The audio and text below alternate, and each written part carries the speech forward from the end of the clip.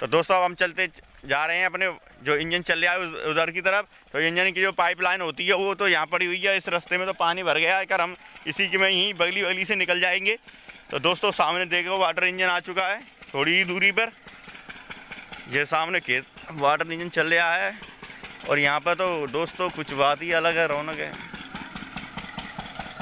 तो दोस्तों, आ चुके हैं हम वाटर इंजन के पास। क्या बात है, यहाँ तो पूरी पूरी पार्टी टीम मोहब्बत में रखी मजे सीने मांगने में लग रहे हैं टेंशन मत करो तुम्हारा प्रचार बहुत